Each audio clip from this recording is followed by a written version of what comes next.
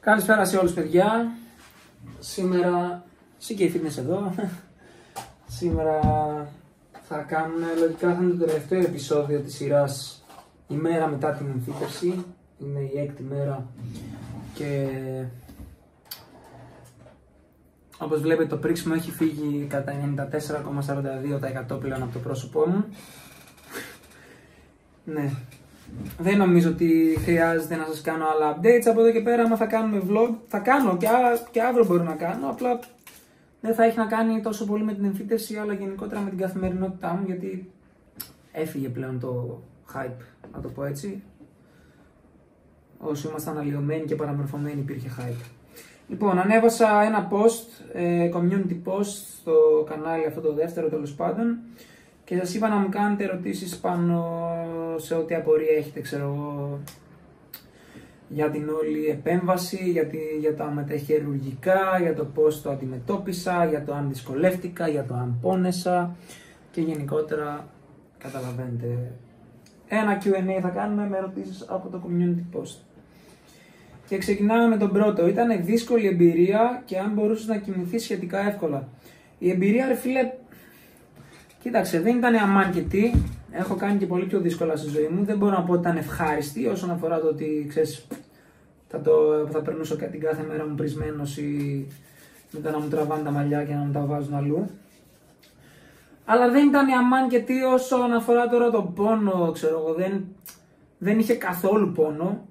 Ενόχλησε αρκετή προφανώς ε, και κατά τη διάρκεια της επέμβασης. Κατά τη διάρκεια της επέμβασης βασικά λόγω ότι ε, την κάνουν με αναισθησία δεν νιώθεις τίποτα εντάξει ίσα ίσα νιώθεις κάτι να σε σκάβουν εκεί πέρα το κεφάλι.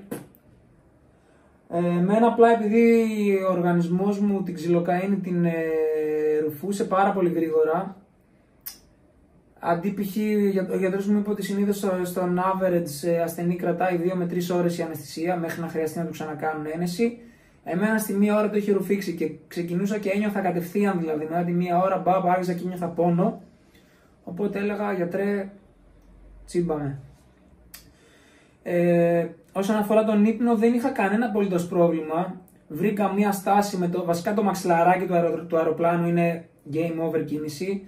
Πρέπει να κοιμάμαι με αυτό άλλες 4 μέρες, άλλα 3 βράδια νομίζω.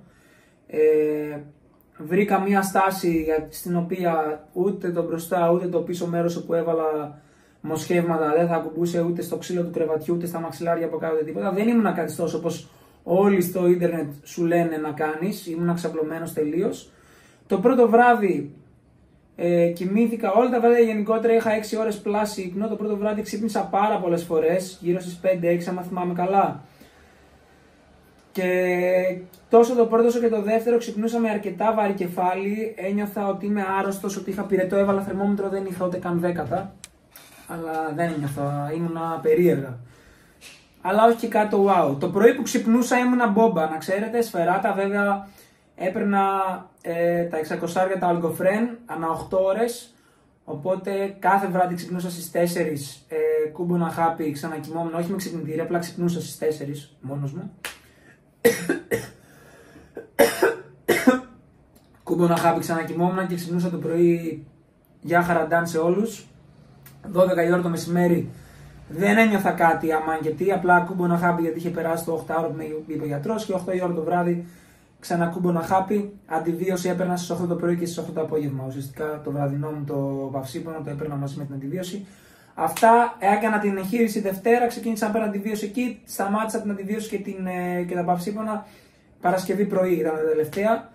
Έκανα βέβαια μια τεράστια ντροπιά την οποία θα σας πω, σας είπα και κατά τη διάρκεια του vlog, ε, η οποία ήταν την Παρασκευή που μου είπε ο γιατρός να αφαιρέσω τον επίδεσμο από πίσω, μου είχε πει να το κάνω να το βρέξω και πολύ πολύ σιγά και προσεκτικά να τραβήξω γιατί η δόντρια περιοχή συνήθως πονάει περισσότερο από μπροστά, διότι έχει περισσότερα νεύρα και κατά τη διάρκεια τη ε, εγχείρηση που σου παίρνουν τις τρίχες, κάποια χτυπιούνται, τραυματίζονται και έχεις παραπάνω πόνο. Εγώ ο έξυπνος το τράβηξα σαν τσιρότσο, σαν τσιρότο, έκανε καλό κρακ, καλό γρακ, δηλαδή το νιώσα και μέχρι και σήμερα δηλαδή το νιώθω αρκετά να με καίει. Ε, οπότε πήρα μισό αλγοφρέν σήμερα για να μπορέσω να βγάλω τα voice over για ένα βίντεο που σας ετοιμάζω και χθες άλλο μισό, αυτά είναι τα να γενικά που παίρνω.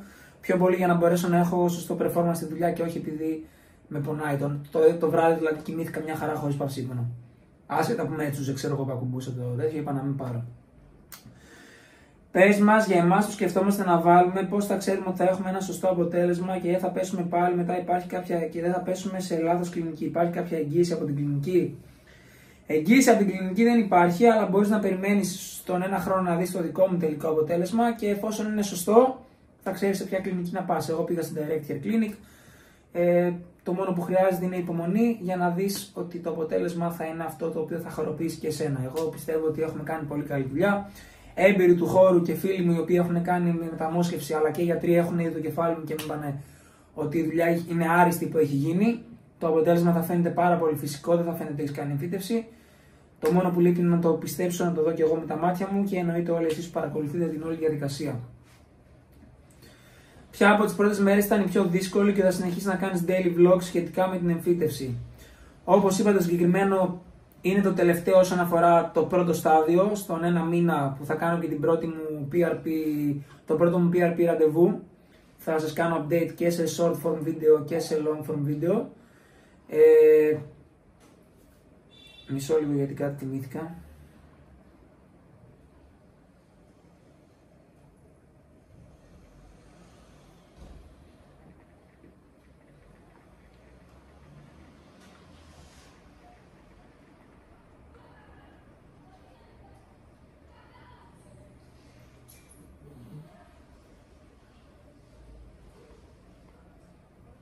Τέσπα. Χάθηκα. Sorry, παιδιά, για τέτοια.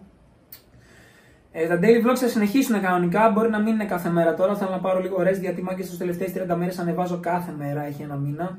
Μπορεί να ανεβάσω και αύριο μεθαύριο για να κλείσω το 30 ημέρο σε φάση άμα δεν είναι ακριβώς 30. Αλλά γενικότερα θα έχει vlogs μέσα στη εβδομάδα. Μπορεί να είναι 1, 2, 3, μπορεί να είναι 7 κάποιες φορές. Απλά μην περιμένετε ότι με μηχανή και εγώ εντάξει το έχω ξεφτυλίσει να πούμε. Έχω χαζέψει.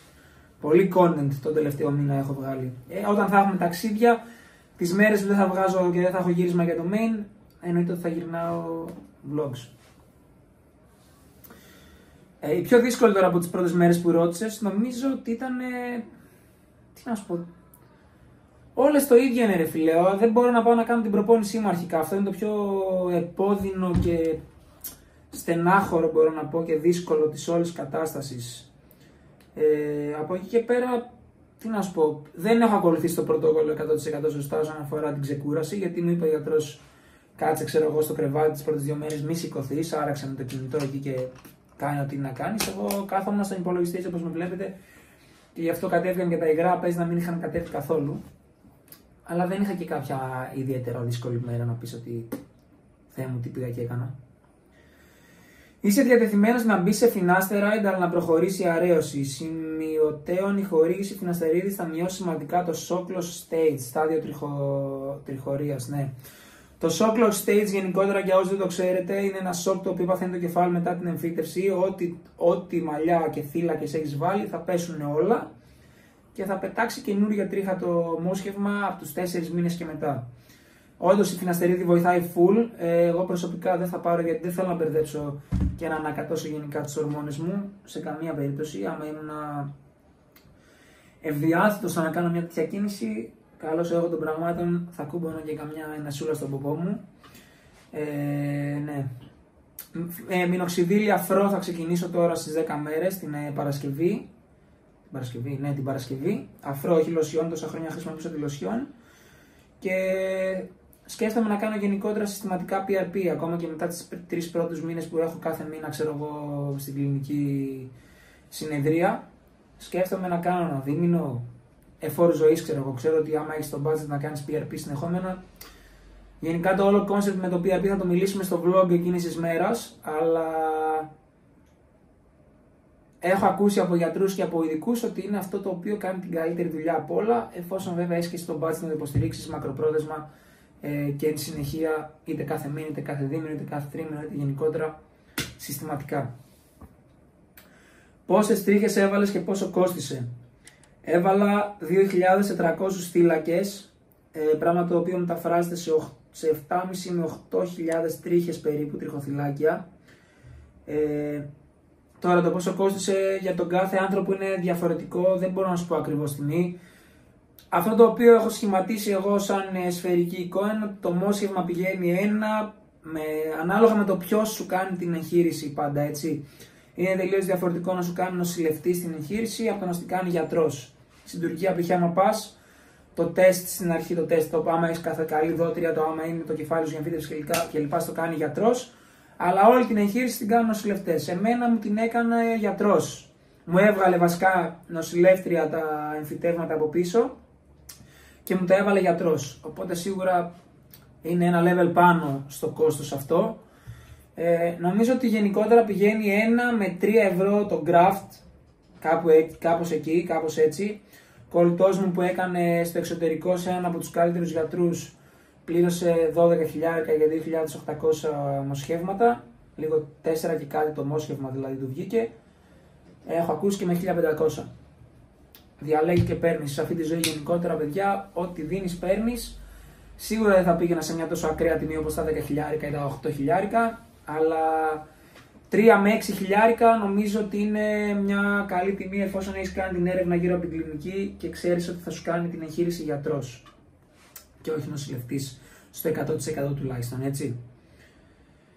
Πώς ήταν η ποιότητα ύπνου σου, το απαντήσαμε αυτές τις μέρες, εφόσον είχες άγχος να αγγίξει το κεφάλι στο κρεβάτι. Δεν είχα καθόλου άγχος, φιλέ, επειδή όλα τα παιδιά τα οποία έχουν κάνει εμφύτευση του κύκλου μου μου είπαν ότι αυτόματα το σώμα σου είναι σε panic mood και άμα πας να ακουμπήσει κάτι ξυπνάς και δεν, δεν ακούμπησε πιθανό το κεφάλι μου, δεν είχα καθόλου άγχος. Είχα πολύ καλό κύκλο ύπνου γενικότερα, πολύ περισσότερο deep sleep από ό,τι light αυτές τις μέρες. Και ήταν ένα πράγμα το οποίο αντιμετώπισα σχετικά καλά σε σχέση με άλλα περιστατικά τα οποία έχω ακούσει. Οι ενέσεις για την τοπική αναισθησία πόνεσαν τελικά, γιατί στο αρχικό βίντεο που πήγαινες με το αυτοκίνητο στο γιατρό λέγες ότι σου είχαν πει δύο παιδιά που το έχουν κάνει ότι πόνεσαν. Δεν πόνεσαν καθόλου, το ανέφερα κιόλας μες στο βίντεο πολλές φορές. Ε, πραγματικά δηλαδή όταν μου είπε ο γιατρός αυτό είναι, ξέρω εγώ, αυτός ήταν ο πόνος που θα νιώθεις για την αναισθησία, λέω σοβαρά τώρα. Επειδή δίνω αίμα ανά τρει-τέσσερι μήνες, λόγω του ότι και έχω υψηλό αιματοκρίτη και γενικότερα θέλω να βοηθάω όσο μπορώ εφόσον είναι κάτι υγιεινό, ειδικά για μένα που πρέπει να δίνω τέλος πάντων. Ε, καμία σχέση. Μάγκε ο πόνος που νιώθεις όταν ε, δίνεις ε, με εκείνη την χοντρή την ένεση είναι 10 φορές μεγαλύτερος. Μόνο σε ένα σημείο το ένιωσα πολύ καραντάν, λες και με χτύπησε ηλεκτροσόκ εδώ πέρα, φίλε, στο κέντρο. Μόλις με κάρφωσε εδώ, το ένιωσα μέχρι τα δάχτυλα. Δεν ήταν ακριβώς πόνος, ήταν σαν να με πέρασε ρεύμα. Χτύπησε νεύρο, δηλαδή γκράου. Αλλά μέχρι εκεί. Klein mine. Και στο τέλος της εγχείρησης, την τελευταία μισή ώρα, τα είχα δει όλα. Ήμουν εξαντλημένος, κουρασμένος. Δεν, δεν ένιωθα πόνο, απλά ένιωθα το σώμα μου κατακριουργημένο, δηλαδή μου ξερίζωσαν 2.400 φύλακες και μου τους ξαναέμπηξαν μέσα. Καταλαβαίνεις ότι είναι. Τι να σου πω, χειρουργείο στο κεφάλι, ρε φίλε. Σου συνταγογράφησαν και κάποια θεραπεία για τις ήδη υπάρχουσες τρίγες, π.χ. μηνοξιδίλη, βιταμίνες κλπ. Μηνοξιδίλη μπορείς να πας να πάρεις χωρίς συνταγή. Το μόνο που μου συνταγογράφησαν ήταν. Ε, Πώς λέγεται, η αντιβίωση την οποία, παίρνω, την οποία πήρα τις πρώτες 3,5 μέρες. Ε, μηνοξιδίλη μπορείς να πάρεις από το φαρμακείο μόνος σου, βιταμίνες επίσης μπορείς να κάνεις την έρευνά σου, σίγουρα μια βιοτίνη κάτι τέτοιο θα βοηθήσει, αλλά μην φαντάζεσαι τρελά πράγματα. Το Big Trio είναι φιναστερίδι, μηνοξιδίλη, μπράβο, έχω πιάσει τη μέλανη και πιάνω τις πληγές. Έξυπνος. Είναι η πρώτη σου επέμβαση που έκανες και αν όχι, ποια ήταν η χειρότερη που έχεις κάνει. Δεν ήταν η πρώτη μου, όχι. Αυτή και όλα είχε τοπική ανησυχία. Έχω κάνει ολική ρήξη τέντα δικεφάλου αρθροσκοπικά στο δεξιό μου, στον οποίο και με κοίμησαν ε, ολόκληρο. Ε, ναι, είχα κοιμόμουν, ξέρω εγώ, απλά μέτρησα ανάποδα μέχρι το 10 και ξύπνησα φτιαγμένος, έτοιμος, δραμμένο.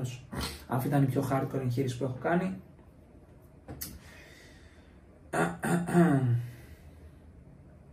Πρέπει να παίρνεις χάπια για να διατηρήσεις ό,τι είχες από πριν. Φιναστερίδι καλό είναι να παίρνεις, κάποιοι γιατροί το συνιστάνε. Εμένα ο δικός μου δεν μου το συνιστάει και, και να μου το συνιστούσε δεν θα το έπαιρνα. Υπάρχει και χάπι μηνοξιδίλη, το οποίο όμως ε, βγάζει τρίχε σε όλο σου το σώμα, όχι μόνο στο κεφάλι. Και γενικότερα επειδή εγώ έχω όχι αμανκετή, αλλά αρκετές τρίχε, ειδικά μπροστά είμαι full. Γένια έχω τίνγκα, ε, στην πλάτη έχω χνούδια. Σίγουρα είναι κάτι το οποίο θέλω να αποφύγω όσον αφορά τις, ε, την, ε, ανάπτυξη περισσότερων και καινούριων τριχών στο σώμα μου. Όταν κάνεις αυτή τη διαδικασία, μήπως χρειάζεται να αποφύγεις το αλάτι και κάποιες συγκεκριμένες τροφές για να μην περιστείς πιο πολύ, δεν έχει σημασία.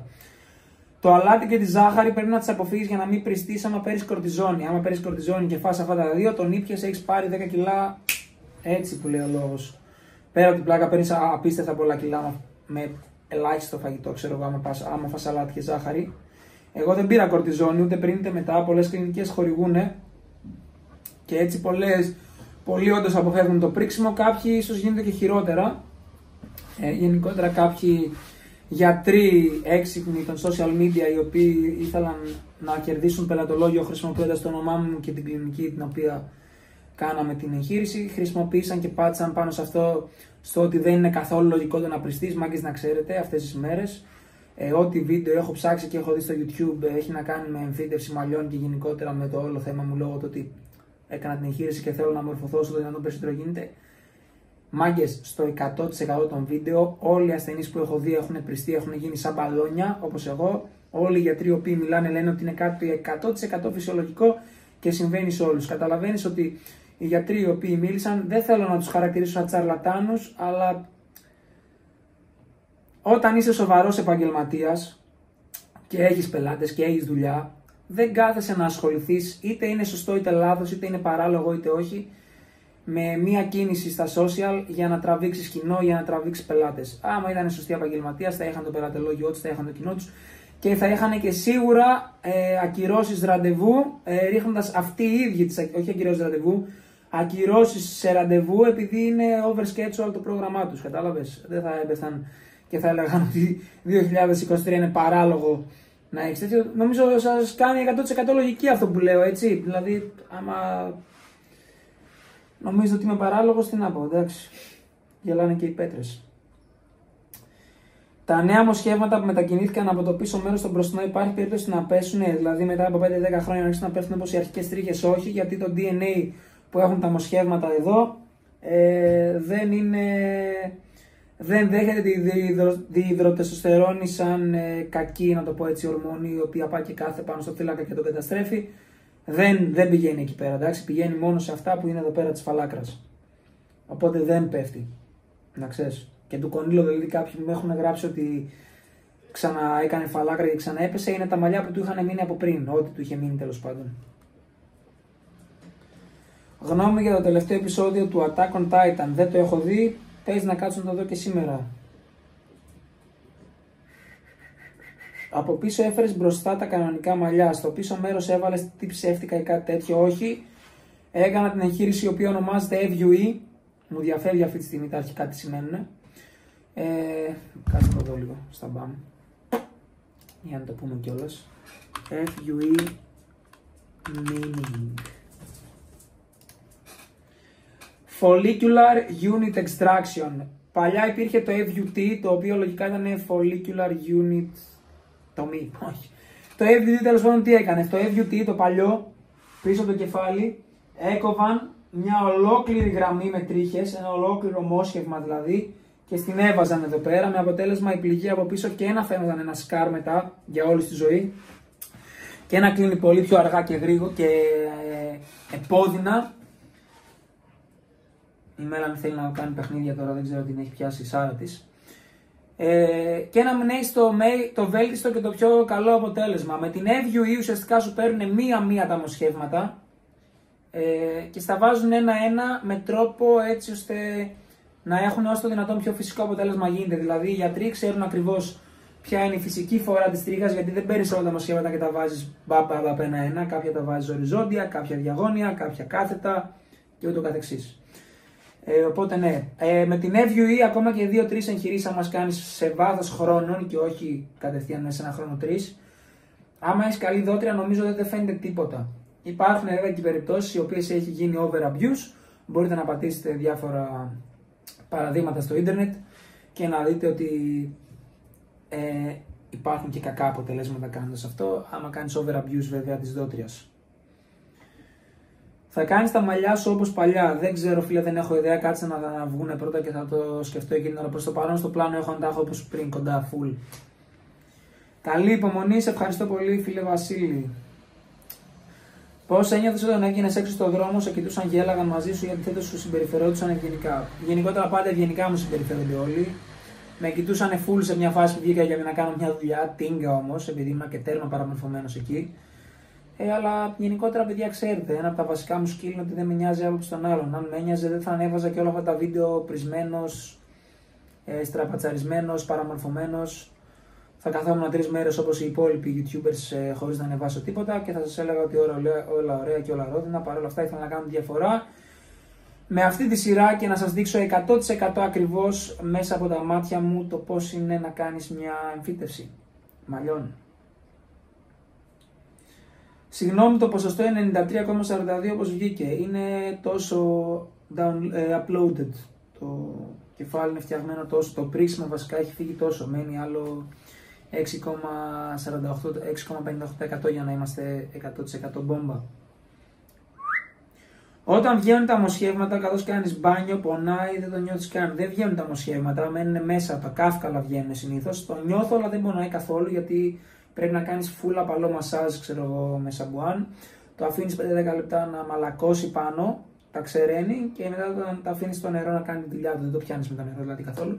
Τη δέκατη μέρα, επειδή πρέπει να έχουν φύγει όλα τα κάφκαλα από ό,τι μου είπανε, από ό,τι έχω δει βασικά στο Ιντερνετ, και στο γιατρό θα πάω και πρέπει να κάνεις κανένα 40 λεπτό μία ώρα μασάζ με χλιαρό νερό στο κεφάλι για να φύγουν όλα. Πρέπει να έχουν φύγει τελείως. ναι, αλλά μην τρως πάλι όπως βλέπεις αυτό το βίντεο, δεν τρώω, φιλέ μου. Σε πόσες μέρες θα έχεις ουσιαστικά αποτελέσματα της εμφύτευσης; 10 με 12 μήνες έχει απαντήσει ο φίλος από κάτω. Ακριβώς η απάντηση είναι σωστή. Αυτά στο κεφάλι σου είναι τρύπες ή πληγές. Επίσης ενοχλούν ή σε φαβορίζουν. Ε, με ενοχλούν και με φαγορίζουν full γιατί ουσιαστικά είναι πληγές οι οποίες δένουν και πουλώνουν. Όλες οι πληγές σε οποιοδήποτε μέρος του σώματος και αν όταν δένουν και πουλώνουν φαγορίζονται. Τρύπες δεν είναι, είναι κάφτλα. Απλά επειδή είναι το μόσχευμα σε αυτή τη μορφή, φαίνονται σαν τελείες, ξέρω εγώ, σαν τατουάζ. Χρήστο με όλη αυτή τη φάση και όρεξη για σεξ. Φίλε, η αλήθεια είναι πως δεν είχα καθόλου. Σοβαρά. Ε, δηλαδή, απίστευτο. Ε, δεν το περίμενα. Τώρα βέβαια έχω. Αλλά ναι, τις πρώτες τέσσερις μέρες ήμουνα, δεν, δεν πέρασε το μυαλό μου ούτε καν καθόλου. Δηλαδή, αδιάφορο τελείως. Περαστικά, σε ευχαριστώ πολύ, bro, γιατί δεν έβαλες κροτάφους. Ε, ρε φίλε, έβαλα τη φυσική, το πώς ήταν φυσικά τα μαλλιά μου. Δηλαδή, γιατρός μέτρησε 4 εκατοστά στο κέντρο και 8 εκατοστά εδώ. Τόσο είναι. Και θα δεις ότι η πυκνότητα θα είναι πάρα πάρα πολύ καλή και εγώ έτσι πιστεύω δηλαδή. Δεν ήθελα να κάνω ίσιο hairline, από μικρός ποτέ δεν είχα ίσιο hairline, πάντα έτσι ήταν τα μαλλιά μου. Από τα 14-15 δηλαδή είχα ελαφρώς κροτάβους μέσα και θα δεις ότι όταν μεγαλώσουν και βγούνε θα είναι πολύ καλό το hairline, δηλαδή δεν θα φαίνεται τόσο τέτοιο όπως το βλέπεις τώρα. Αν το μετάνιωσα, όχι φίλε, τι να μετανιώσω. Το μετανιώσω άμα στους 12 μήνες δεν έχω μαλλιά. Πώς και έτσι να κάνεις τα μαλλιά σου κοντά για εμένα δεν χρειάζεται, άλλοι προσπαθούν να το κρύβουν μέχρι να δουν αποτέλεσμα και εσύ από την πρώτη στιγμή δείχνεις τι κάνεις και λες ότι θα το κάνεις και βίντεο. Δεν κατάλαβα την ερώτησή σου, αν εννοείς να κρύβεις το, τους κροτάφους μου, άφηνα τα μαλλιά μου μακριά και τα έκρυβα, ε, ηλίθιο, πολύ χαζό. Μετά απλά τα πήρα κοντά και γουστάρω τα μαλλιά μου πολύ κοντά από τότε. Ε, τώρα το άμα θα ντρέπομαι ή όχι για το άμα θα είμαι πρησμένος, αν εννοείς κάτι γι' αυτό, δεν με νοιάζει bro καθόλου. Άσε μούσι μη ξυρίζεις συνέχεια, μου αρέσει ο ξυρισμένος ρε bro. Ποιο είναι το πρόβλημά σου; Η Μέλαν θα κάνει χειρουργείο, κανονικά πρέπει να την πάμε σε ορθοπαιδικό για να την κάνει τσεκ, αλλά δεν, δεν καταφέραμε να βγάλουμε άκρη ακόμα, δεν ξέρω τι κάνουν οι γιατροί. Το έχω αφήσει το θέμα γενικότερα πάνω στη Βασιλική και δεν παίρνω μέρος, γιατί αν πάρω εγώ μέρος, άστο. Ή θα βγάλουμε κανένα στα social και θα κράζουμε, ή θα βριστούμε live.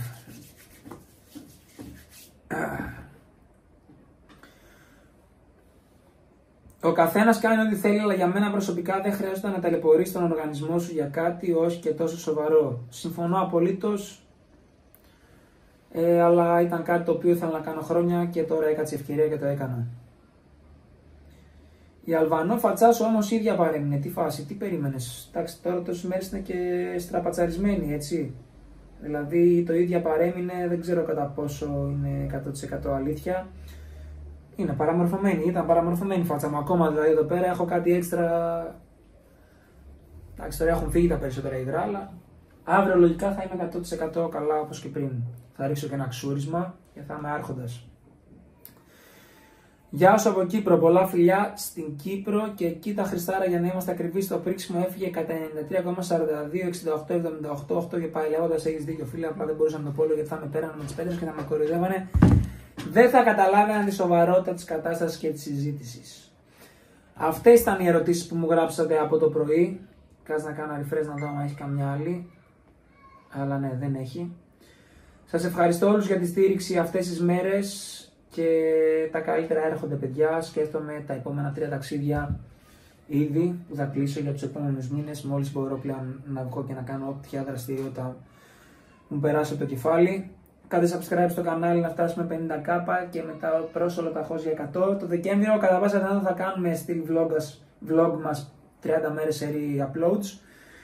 Αλλά τον Νοέμβριο θα το πάω ένα κλικ πιο light και χαλαρό. Ε, κάντε subscribe και στο main να φτάσουμε 700k. Φιλάκια πολλά. Τα λέμε λογικά αύριο. Λογικά αύριο.